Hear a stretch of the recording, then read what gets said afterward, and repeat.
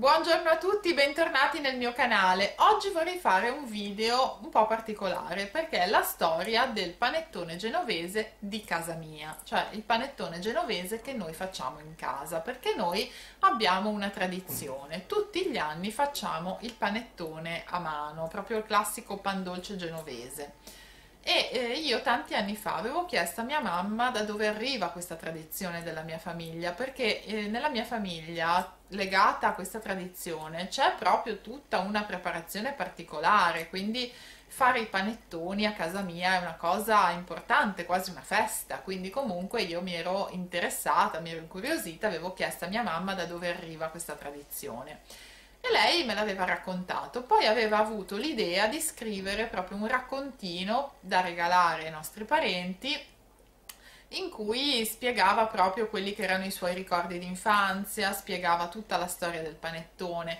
e siccome l'ha scritto veramente molto bene, a me è piaciuto questo racconto e mi è venuta l'idea di fare appunto un video su questo. Eh, io adesso sarò la voce narrante, però il racconto è stato scritto da mia mamma, quindi io lo leggerò come se fosse lei a leggerlo. Quindi eh, cominciamo e vi racconto la storia del panettone genovese di casa mia.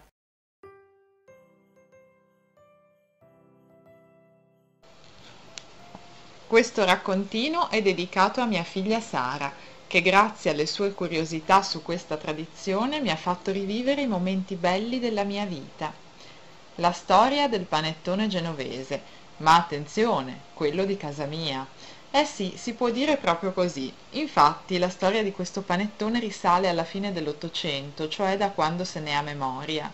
La tradizione arriva ai giorni nostri grazie alla mia famiglia, che ne tramanda la ricetta da generazioni la nonna Elena raccontava che già sua madre ogni anno per le feste preparava il panettone e anche la nonna Assunta, sua suocera, faceva lo stesso.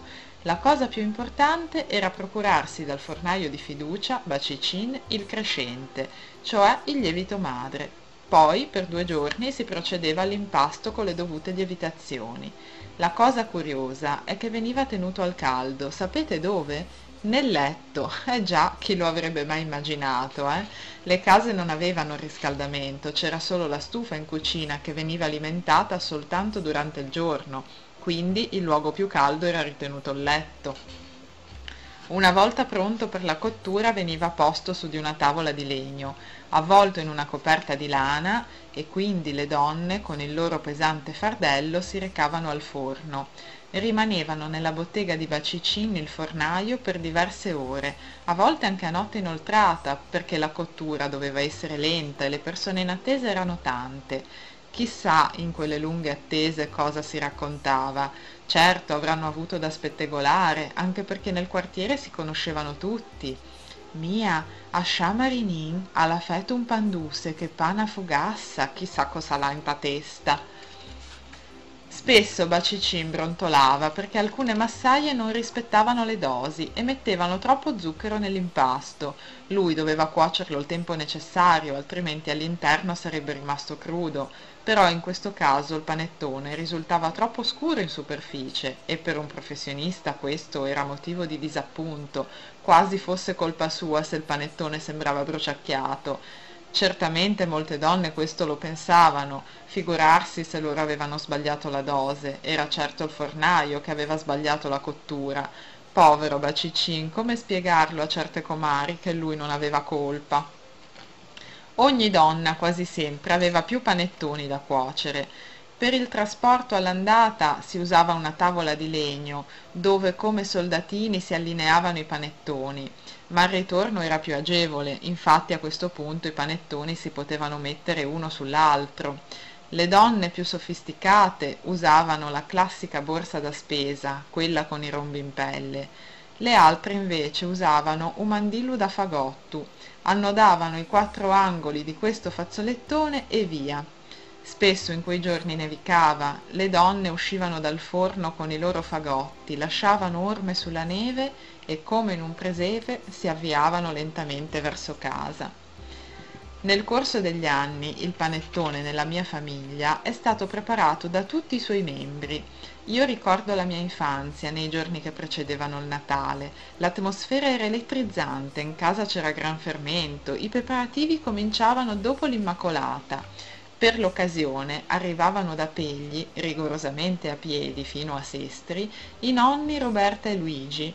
Lui ogni anno arricchiva il nostro presepe con una nuova casetta che costruiva con materiale di recupero raccolto a menna dopo la mareggiata la mamma li ricompensava con un pranzo che sembrava l'anticipo di natale se chiudo gli occhi anche se sono passati sessantaquattro anni rivedo la cucina con le arance e i mandarini che guarniscono la grande cappa i rami di alloro appesi e la stufa accesa con bucce d'arancia posate sopra la piastra per aromatizzare la stanza. Mi sembra quasi di sentirne il profumo e poi la conta degli ingredienti per controllare che nulla mancasse per il grande giorno ossia quello della preparazione del panettone ricordo il grande tavolo con la spianatoia di legno posata sopra. Io che arrivo appena a guardare la superficie vedo una montagna di farina come un vulcano dove all'interno viene posto il panetto lievitato e quindi versato burro fuso e a seguire tutti gli altri ingredienti zucchero cedro uvetta pinoli scorza di limone e semi di finocchio poi mani che cercano con fatica di raggruppare tutti questi ingredienti in un unico impasto. L'uvetta e i pinoli che scappano via dalla farina e io pronta a raccoglierli e chiaramente a mangiare tutto ciò che sfugge ma quelle mani sono esperte e veloci e in men che non si dica l'impasto è pronto. Ora il grande impasto viene diviso in diverse parti per formare più panettoni che vengono lavorati uno ad uno e poi con tovaglioli di lino ripiegati come strisce vengono avvolti come bambini e messi al caldo sotto una copertina. Ricordo il profumo il profumo di natale. La cottura. Tutto ruotava attorno a questo avvenimento. L'attesa. Chissà sarà cotto ora? Ma forse è meglio aspettare ancora un po. Ma se lo lascio ancora va a finire che prende la fiammata e si annerisce sopra. Guarda secondo te lievitato bene? Ma questo non mi sembra cotto bene. Secondo me è crudo dentro molto bene penso io per me è più buono. Una volta cotto meraviglia delle meraviglie. Dove riporlo? Ma nel cassetto in fondo al comò. Quello era il cassetto dove i panettoni aspettavano di essere consumati.